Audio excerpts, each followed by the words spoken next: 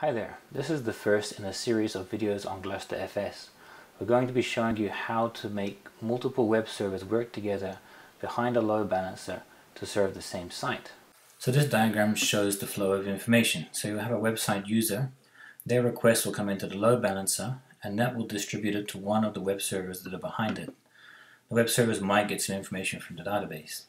But what if the user first goes and hits Web 1 and what does he do? He sends the login information to Web 1. Web 1 stores it in a session file.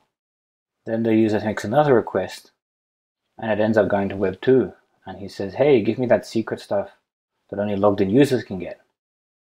But Web 2 doesn't know about Web 1 session file, so he treats him as not logged in. We've got to solve that problem. These servers all need to know about the session files of other servers.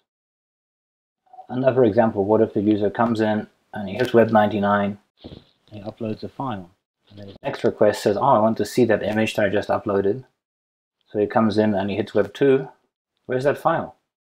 So all these servers need to share their files. So what are the files that the different web servers need to share in order to serve a single front in their application?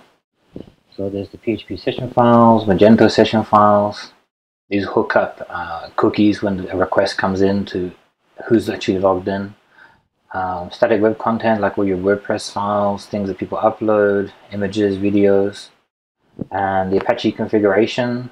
Uh, for example, you might have config.php in your web app and you, you only want to change it once. You don't want to change it in every single webhead. So with GlusterFS, we'll be sharing these files between all the applications. So that's the end of the introduction video. In the next video, we'll fire up a web server and install GlusterFS.